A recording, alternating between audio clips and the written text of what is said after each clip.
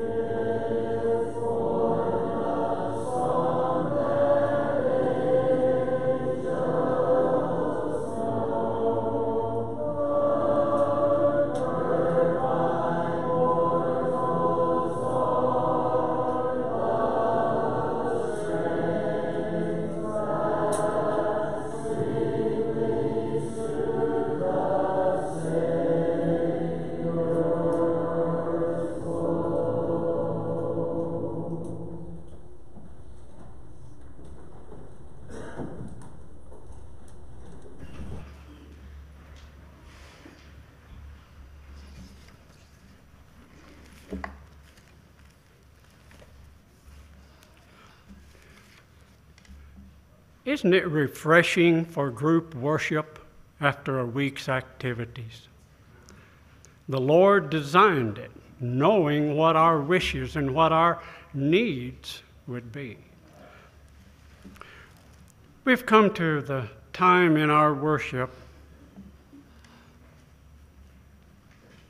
that we are, or has been set aside, that we are to honor and glorify and remember our Savior.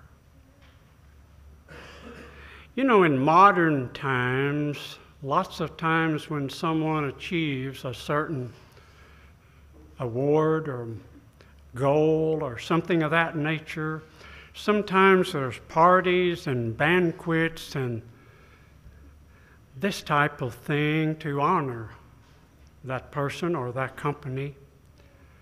But yet, when we read in the scripture,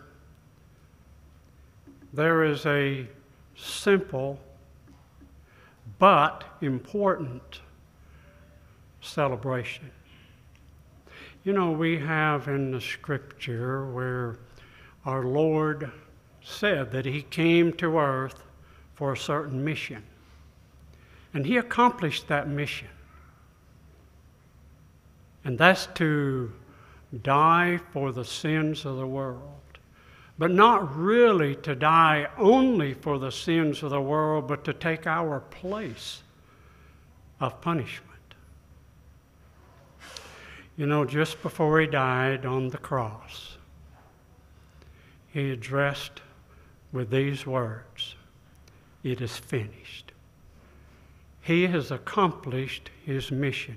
He accomplished the person of the purpose that he came to earth. God knew that because of the influence of Satan, we would fail. But in his design and creation of mankind, he wanted us to spend eternity in heaven with him. There had to be a way for us to do that. Jesus paid the price that we would have that way. And if you want to be uh, turning to Matthew, uh, Matthew chapter 26, I didn't didn't write that one down. Uh, let me make. Uh, you know, I tell my kids in in class to bookmark. Well, I uh, I thought I had.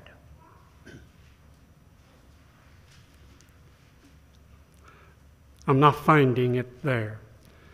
The scripture that I'm wanting to read is the fact that he simply said on the his last night of celebration of the Passover that here is the memorial I want you to remember.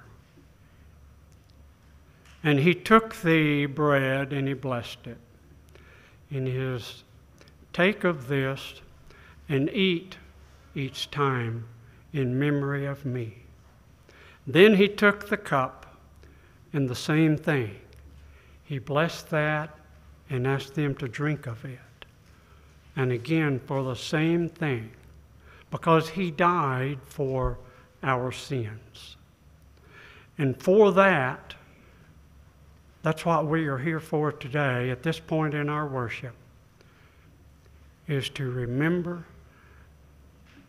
and reflect on what Jesus did for us on that cruel cross and recall that had he not done it, we would be doing it. It's with those thoughts we enter into our communion service.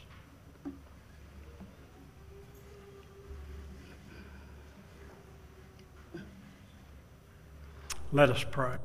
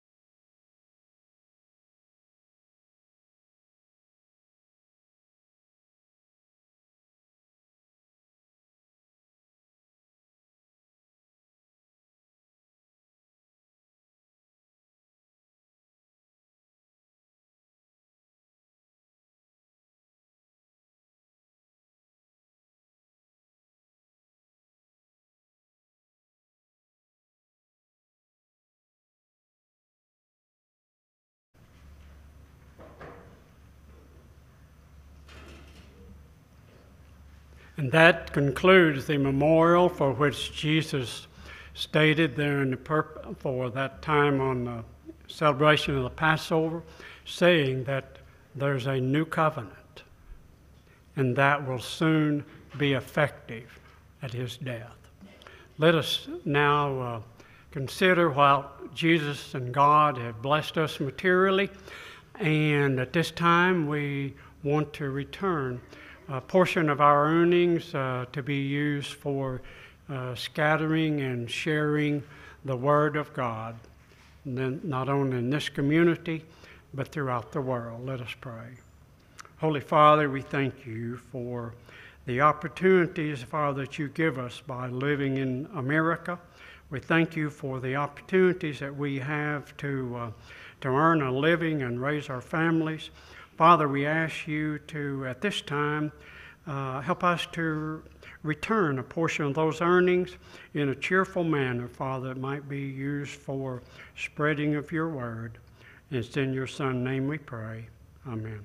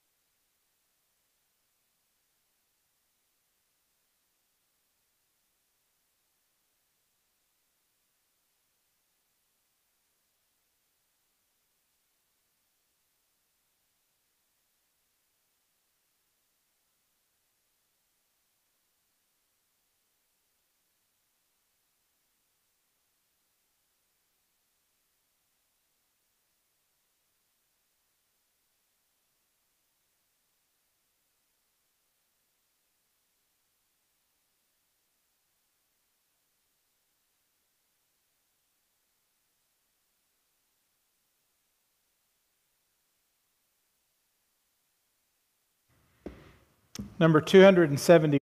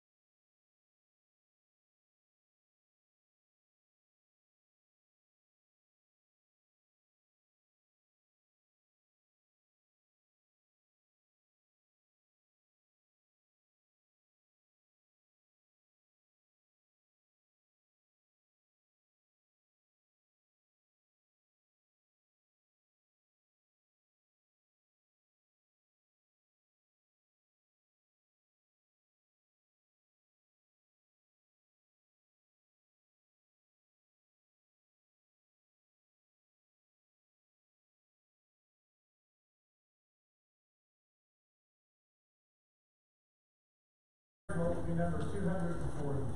Two hundred and forty.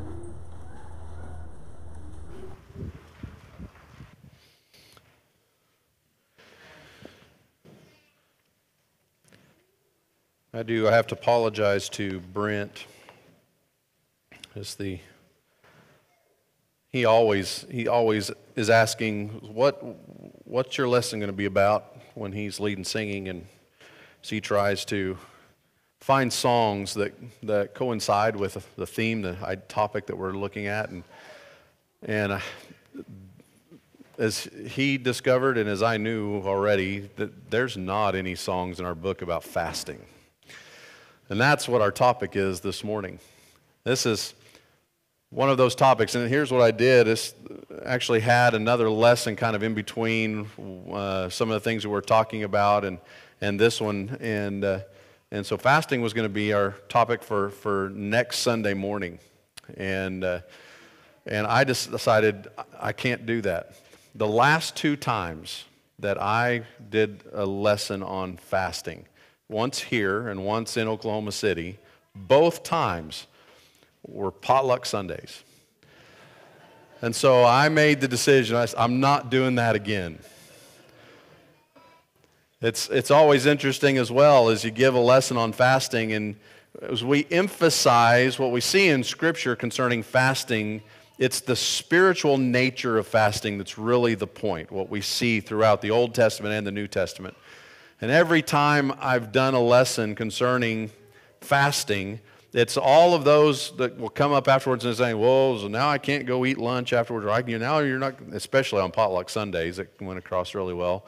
Like, oh, so now we're all going to feel guilty, and I'm going, "Oh, you missed the whole point. It's not really about the physical eating that's involved, but the point is really what's going on in your heart, what's going on on the inside, the purpose of fasting. That's really not our uh, purpose this morning is to look at the history, Old Testament and New Testament, and see all of the different things that fasting was used for, the purpose of fasting, all that. We've dealt with that in the past. We will again. I want to stay in the context of what we're studying here in Matthew chapter 6. So we're walking through the Sermon on the Mount. And I want to stay within the point that Jesus is making by using this topic of fasting.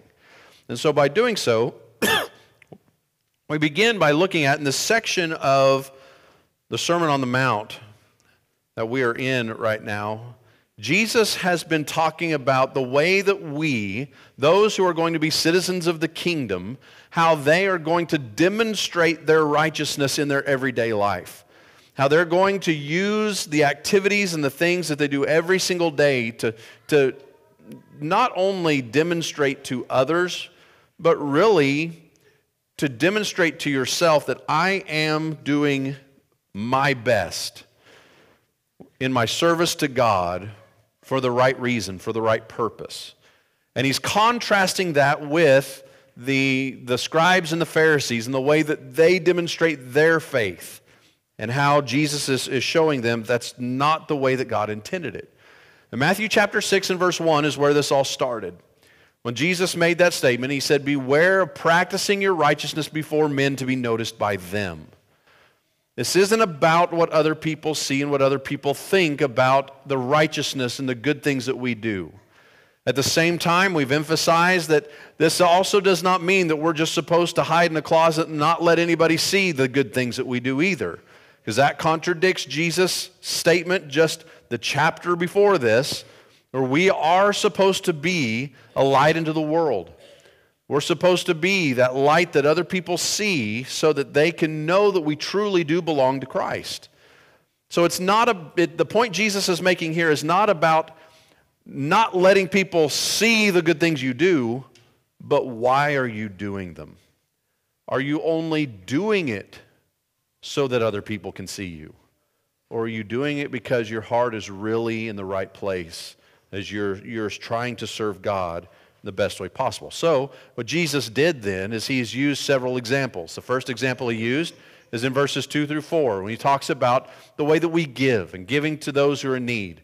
Are you doing this just because you want other people to see that you're giving? Or are you doing it because of a sincere service and love for God? Then the next thing in verse 5 through 15, he talked about prayer. Contrasting this with the scribes and the Pharisees, and how they would go out and they'd stand on the street corners and they would stand in the synagogues and they would, they would have these public prayers so that everybody could see and hear what they were saying, so that they could be seen as being righteous people, which deep down inside, it was selfishness. It was all about, look at me. So Jesus uses that as an illustration.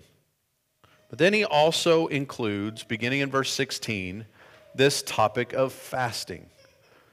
Beginning in Matthew 6 and verse 16, Jesus says, says, Whenever you fast, do not put on a gloomy face as, with as the hypocrites do, for they neglect their appearance so that they will be noticed by men when they are fasting. Truly I say to you, they have their reward in full. But you, when you fast, anoint your head and wash your face, so that your fasting will not be noticed by men. But your Father who is in secret, and, and your Father who sees what is done in secret will reward you. Here we have men. We know that fasting was something that was done by the Jews all throughout the Old Testament. We see multiple, multiple illustrations, examples of this. Well, here are the Jewish men, or Jewish people, the, the scribes and the Pharisees, those that Jesus has been associating with this, this uh, description as hypocrites all through this Sermon on the Mount. And he says, here are those that they are trying to portray themselves as being righteous people. But yet, when they're fasting, which Jesus here connects, fasting is a very, it's a spiritual thing. It's a, it's a part of a communication with God. It, it's part of a revealing of your own heart with God and to God. And, and he says, but they're not doing it for that purpose. They are messing up their hair. They're putting on clothing that's making them just look like, oh, woe's me. I haven't had a meal in three days. And they're just making themselves, you know, they're going to walk around as though they're, they're just, they're, they're hurting so bad because of their lack of food. And it's all about, look at me. Look how righteous I am. Now, for generations, for centuries, the Jewish people have seen those Jewish leaders, and they have always thought that, oh, that is the sign, that is the, that's the image of someone who is truly devoted to God. And Jesus is saying, that doesn't have anything to do with someone that's devoted to God. Because they're doing it for themselves. They're doing it so that other people can see what they're doing. They really, their mind is not on what this means to God and their obedience to God. We'll look at a passage that Isaiah gives us here in just a moment that shows that connection of how important obedience to God and how that's connected with this practice of fasting. So, what Jesus says, here are those, there's, there's the, the contrast. Those that are doing it to, to be seen by men, and Jesus saying, if you're going to do this, it is to be done to be seen by God. He says, Your Father, verse 18, will reward you. Now, those that are, are fasting to be seen by men, Jesus uses the same expression here that he used for prayer and he used for giving. They shall have their reward in full. They want people to notice them they're going to get their reward. That's what they want their reward to be. That's what their reward is going to be. But they are not going to have a reward that comes from God. If they want the praise of men, they can have it. But they're not going to receive the blessing that comes from God because their heart is just not in the right place. One of the biggest questions that comes from a topic like fasting fasting is not something we talk much about. It's not something that we entertain about the necessity or the use of in our religious life and practice of righteousness in our lives today. And the question that comes up so many times is should it be? Should Christians be fasting today?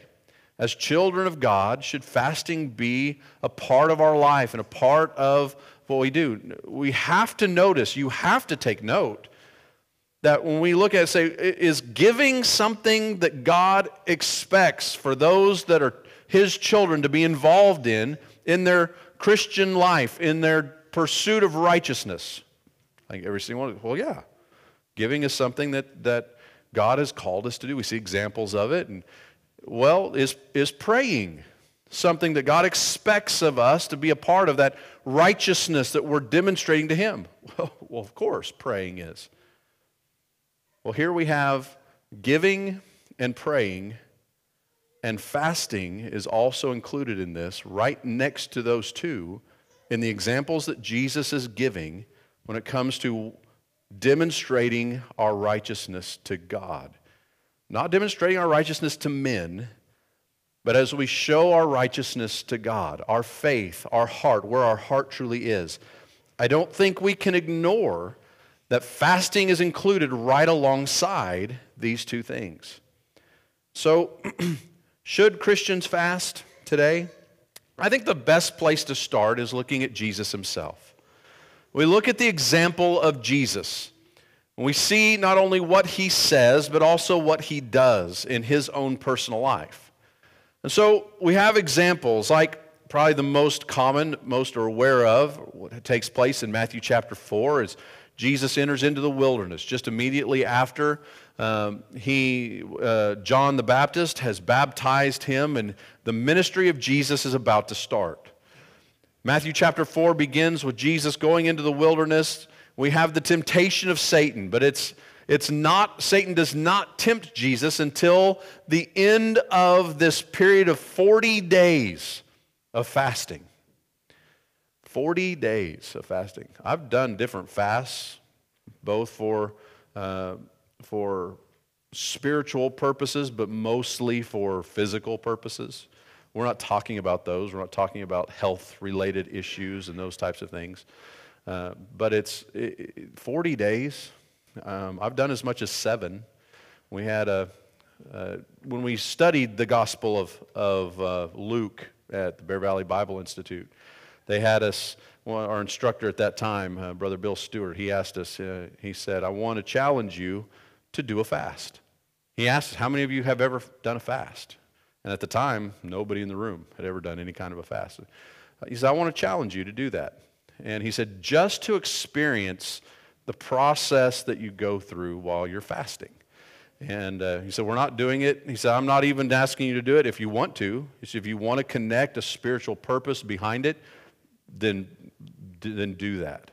Because I'm just wanting you to experience the physical nature of a fast. And so um, we, we went through that. Did they do that when you were there, when you guys were there? Uh, and, uh, and so uh, we went through that. A lot of guys made it. It wasn't required.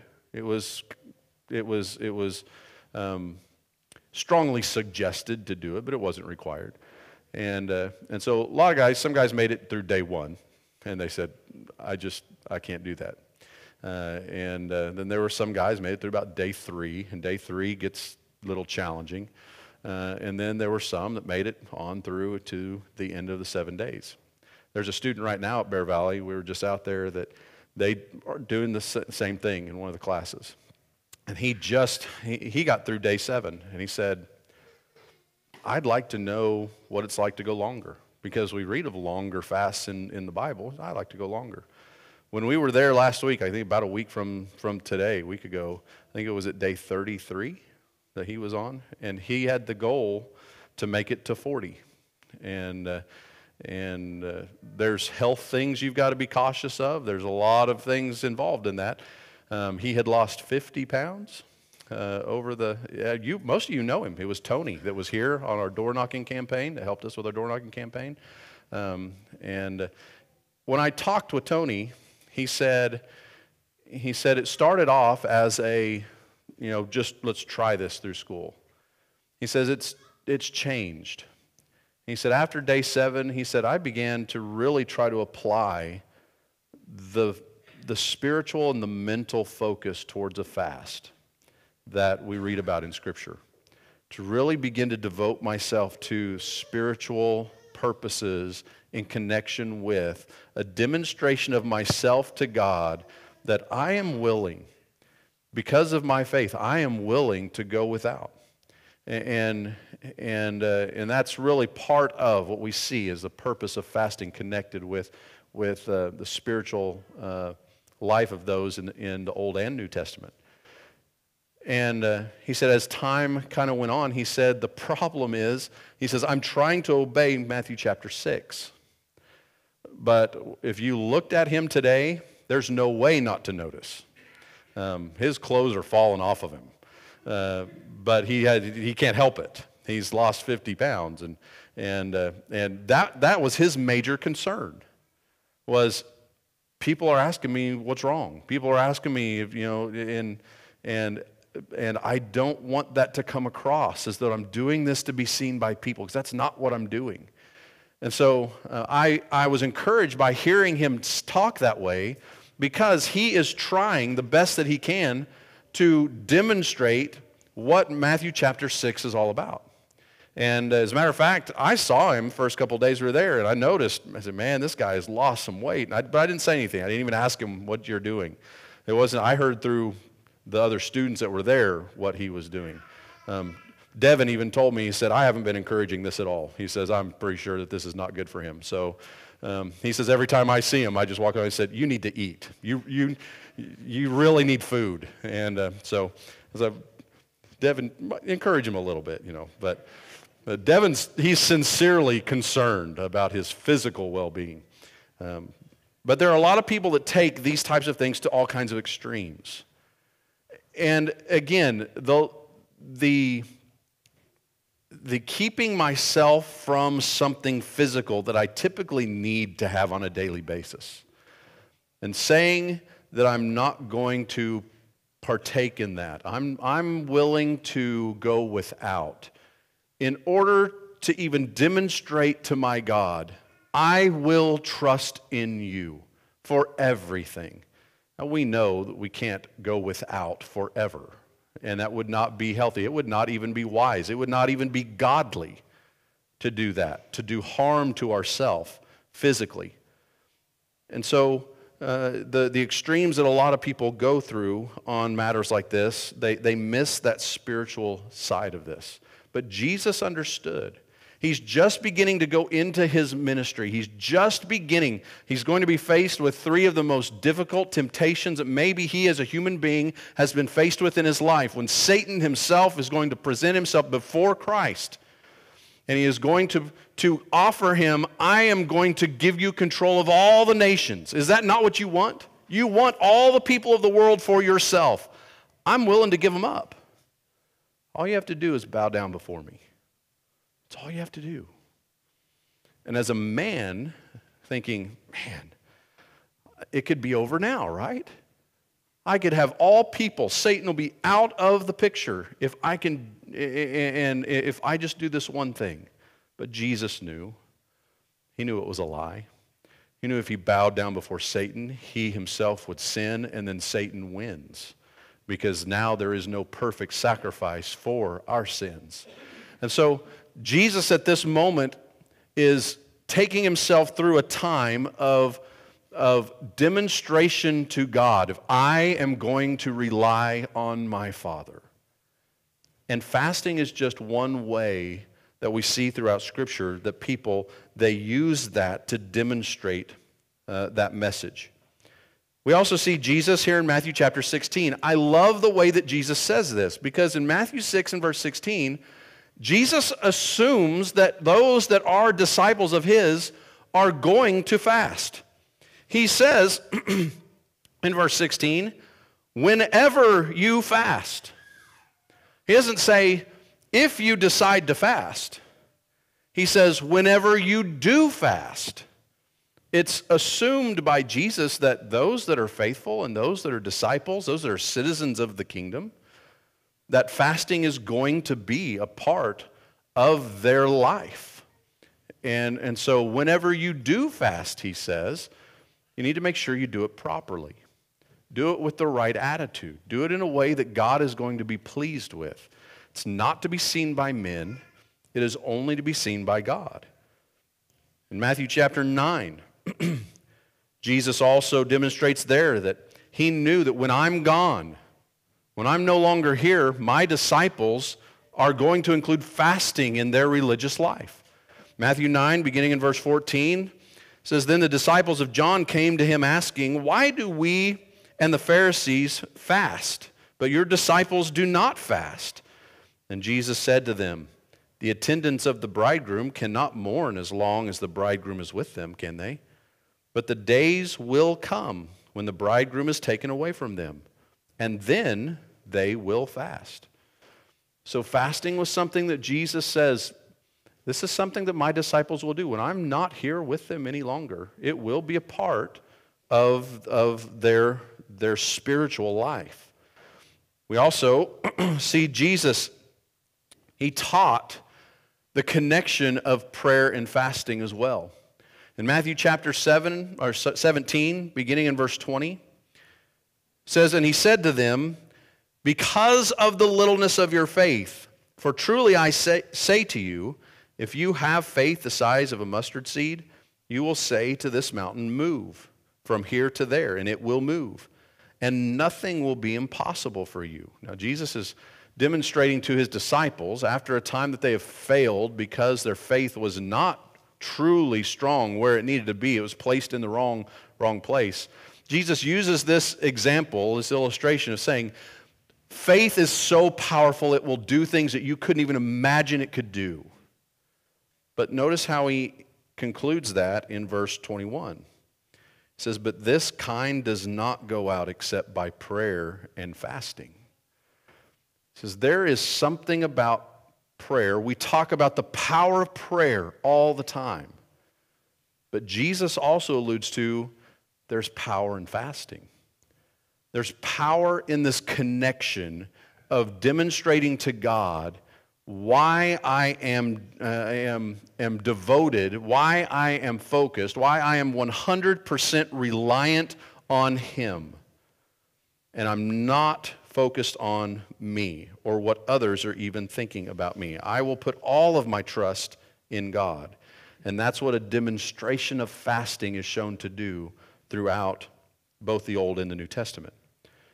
Not only with Jesus and what he taught, not by, only by his example, which it doesn't really get any better than coming from Jesus himself, but we do see other examples throughout the New Testament.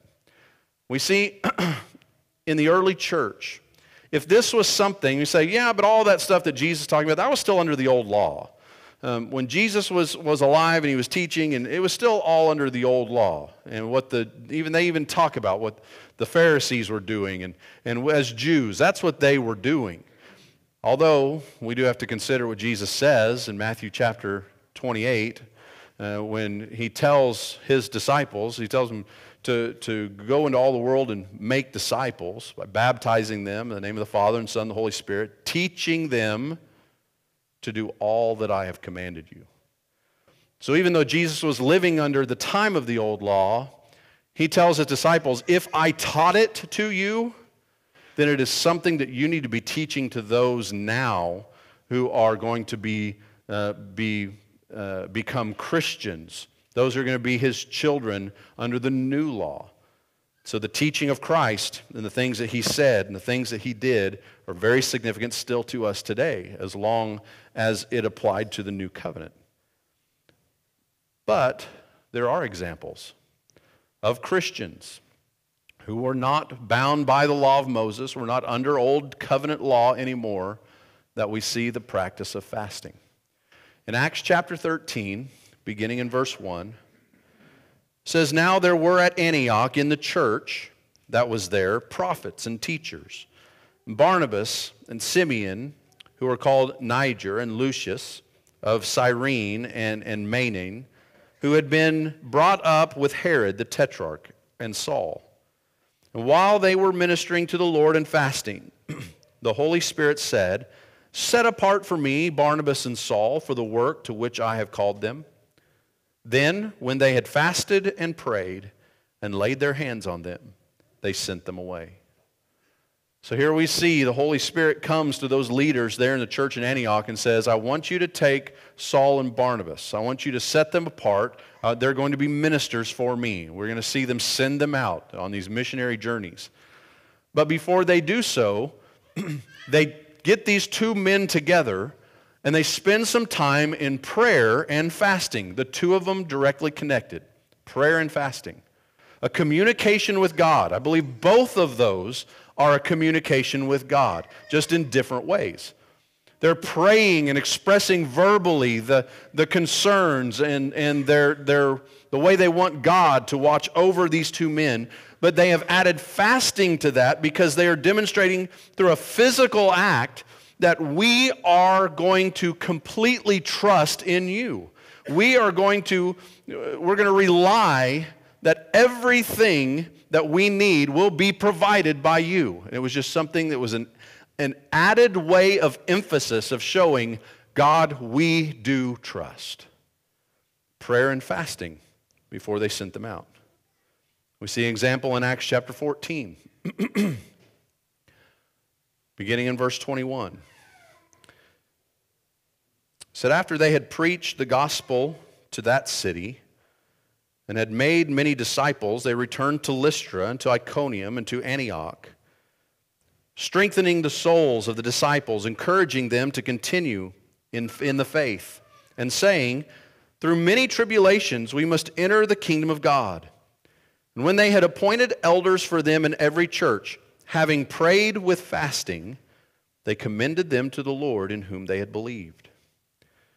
So we see here are elders that are being added to their work of the church men who are qualified to serve as, as the elders, as the overseers of the church there. But the process of adding them, acknowledging them as men who are going to be leading and serving in that position as elder over the church, the congregation as a whole fasted and prayed. Again, this is seen, and what we begin to see is a, is a there's a connection between these. Anything that the church, Christians, began to see as this is such a significant event that's taking place, we want to make sure that God sees and hears and recognizes that all of our heart is dependent on Him. We are putting all of our trust and all of our faith and everything. Now, Every time Christians prayed in the New Testament, we don't see necessarily that fasting was connected to it all the time. But with significant decisions, with these big events of, of activity, sending out missionaries, of appointing those who are going to lead, who are going to be responsible for the oversight of the souls of those that are part of a, of a church they saw those as significant enough to add fasting to their prayer as that demonstration of God, of their faith and their devotion to Him. We also see the Apostle Paul in 2 Corinthians chapter 11. Paul, he goes through a list, and he's it's in the context here Paul is defending his apostleship. He's giving a list of all the different things that he has done and he's been through that has led him to prove, I am a minister of Jesus Christ. And one of the things that Paul includes in this list, he goes through all of his shipwrecks and times he's been beaten and all, the, all these different things. One of the things he adds is also that fasting was a part of this evidence that I belong to Christ. I am a faithful servant of His because I have gone without at times. And so we see Paul also including this as something that he saw as important. So, should Christians fast today? By the evidence, by the the text, by the context of what we see, what Jesus says here in Matthew chapter 6, by the example that we have of churches in the first century, I have no way of being able to say that Christians should not have fasting as a part of their spiritual life. In everything else that we look at, we see that if we have a command to do it, we know we, we have no choice. God has commanded it, we must do it. If there are no commands, but we see examples of the apostles or the early church doing it, and that's approved by the apostles, then we walk away from it going, we have no choice. That's what the early church is. We are going to be the church of the New Testament. then we need to follow that example. And this seems to be one of those examples. Again, it's not something we talk about a lot. And I have to ask myself, every time I do a lesson on fasting, I ask myself, why not? Why don't we look at this closer? Why don't we approach this differently sometimes because of the way that we see it being used and the significance of it? So, how should? From our context here in Matthew chapter 6, and this is not a how to, I'm not going to be going through a seminar on fasting or intermittent fasting or all those different types of things that are out there in our, in our culture today. From the spiritual standpoint of what we see in Scripture, how should Christians fast? First of all, we have to acknowledge what Jesus just said. This is not about me. It's just the same way that when I'm praying, it's not about me. When I'm worshiping, it's not about me. When I'm giving, it's not about me. When I'm fasting, it's not about me. It's about my righteousness and my, my relationship with God, my faithfulness to Him. It's not about what other people see. If it's about me, then I'm going to be concerned and I'm, I'm going to be wondering what other people think. But that's not what it's about at all.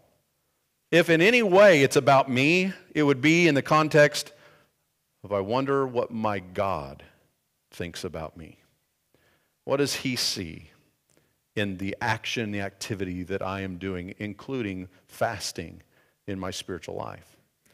I think it's one of the most important things that we have to, to consider here. But then we also have to understand that it's not just some type of a religious ritual. It's not just something that's out there that, that is a part of ritual religious life. Fasting is going to be a part of something we just make as a ritual to do. Because we don't see that in the New Testament. We see that they were very actively involved in fasting at different times.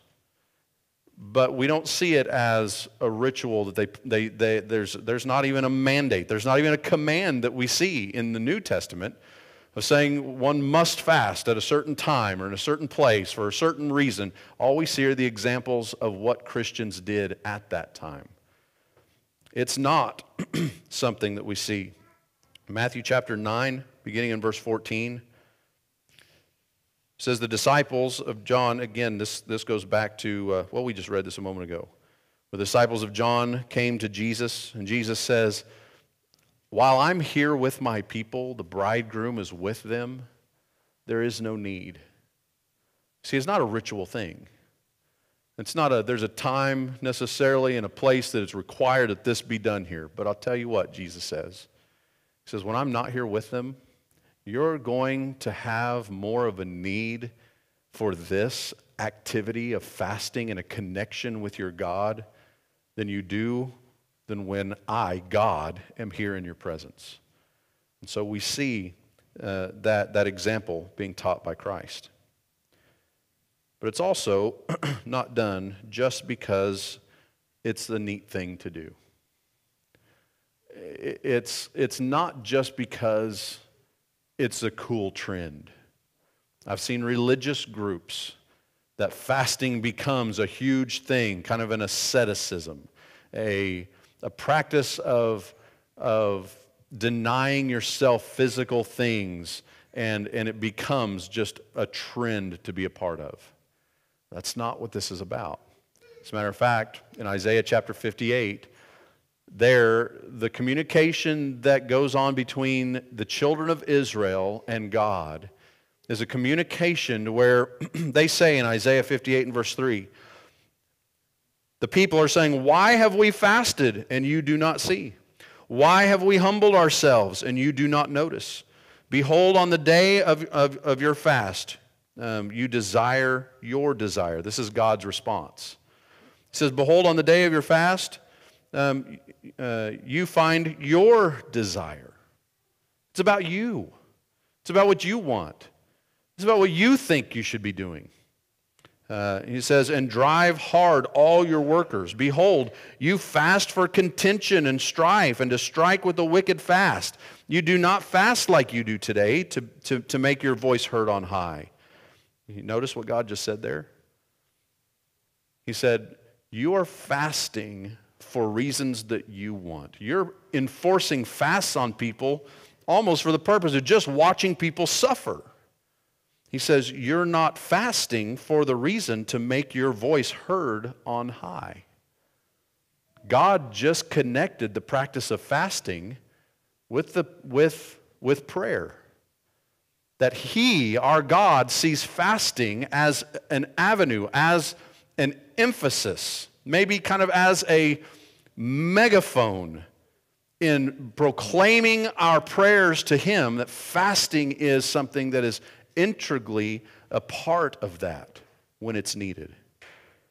Isaiah goes, or God goes on through talking to them saying, the reason why I'm not paying attention to your fast now is because you are not obeying me. Obedience of true faith of who you are in relationship to me is right at the middle of all of this. It's not about you. God says it's about me. It's about this connection that I'm allowing you to have with me. And so I think over all things, in all that is taught and all that is said, and I said, I, I believe, I actually have, I think I've even preached, I think it's a three lesson series on just fasting. There's a lot that we can learn, Old Testament and New Testament, about the practice of fasting from the Bible. But as we've just seen in just pieces of that this morning, there is a very real connection that God sees with the practice of fasting in our communication and our relationship with Him, in the way that our righteousness is portrayed to Him. Not as a, it must be done now, and as maybe as the church, if there's a time we say, there is a concern that we have, as they did in the first century, say church wide, there may be a need for us to practice this activity of fasting as a part of our prayers as we're petitioning God.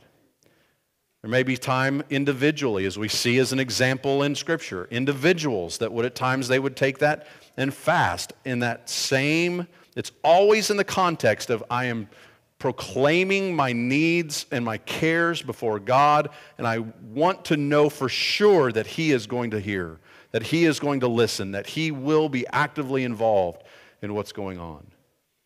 I think it's something we need to pay attention to. Something that we need to, to look closer at. And maybe that's something that as we go along, we can do that. I want to make sure that everything I'm doing, it's for Bible reasons, it's for Bible purposes, and it's for the way that God would have us in the year 2000, 2019 how does God view those types of practices even in our life today? I want to know what He says about it so that I can know that I'm being as obedient to Him as possible. Everything that we do all comes back to that one, that one valid point. If you're doing what you're doing to be seen by others, you're going to have your reward. If you're giving to others, if you're praying, if you're, if you're involved in other religious activities, and it's, it's so that others can see what I'm doing, you will receive your reward. Others will see it, and others will probably praise you. They'll acknowledge you. They'll publicly even say, Have you seen what so and so is doing? It's just amazing what they're doing. If that's the reason you're doing it, you will gain your reward. But Jesus says, But there is no reward for you from your Father in heaven. Because that's not why we do it. We serve others, and others may say those types of things, but that's not why we do it. We do it because I want in everything I possibly can to serve my God in the best way according to the way that He has called me to serve. And if I'm doing that, it doesn't matter what other people are saying. Some people will ridicule me and they'll make fun of me. Other people may praise me and may, may, may encourage me. That doesn't matter as long as I'm doing it God's way. Have you done it God's way? There's something that you're struggling with, maybe. You're wondering, these things, activities I'm, I'm a part of in my life, uh, it's for, I'm trying to do this for God. Just sit back, take a look at everything, and look, say, why am I doing it? Is there any part of this that I am hoping that other people will see what I'm doing? And if so, I might need to step out of that and re-look, reevaluate my purpose and why I'm serving, why I'm doing these things. For all, there's so many that are here. There are so many things that go on in the church here in Cave that people don't even know about because of the service you're doing. And it's with that heart of, uh, it's not about me. It's about serving God to the fullest of my ability. And that is to be commended. And that is to be praised. But it is also something that make sure that light that you're shining is the light that God desires to be shining. And not a light of our own, but the light of Jesus Christ. Maybe you're here this morning and you need that light. If, if we are following the will of God in everything we do, walking in the light as He is in the light, we can have fellowship with Him. But I can't have fellowship with Him if I'm not in the light. And that light of Jesus Christ, obedience to His word, to His gospel. Have you been buried with Christ in baptism to have your sins washed away? Because of your faith and believing that Jesus is the Christ, the Son of the living God? If there's anybody here this morning and you have a doubt, I'm not sure about Jesus, then let's sit down. Let's let Jesus show who he is. Let's let him talk to you through his word about this is who I am and why I'm here. If there's any need at all for you in bringing you closer to God and closer to Jesus Christ, will you make that known? Whatever the need may possibly be this morning, whatever challenge we as a body of Christians can do to help encourage in any way. Will you let us do that? You can do that this morning as we stand and as we sing this song. Have thine